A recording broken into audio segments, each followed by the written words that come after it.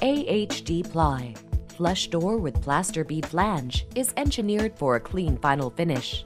Once a sufficient layer of plaster compound is applied to the corner bead flange, it will leave only the door panel visible. 2 and 3 quarter inch plaster bead flange comes standard with a screwdriver operated cam latch.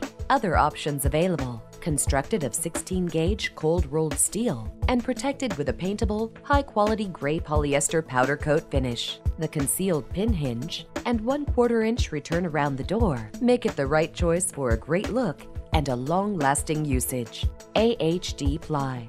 Available in a wide variety of in stock sizes. Your custom sizes ready to ship in only five days. Visit bestaccessdoors.com today.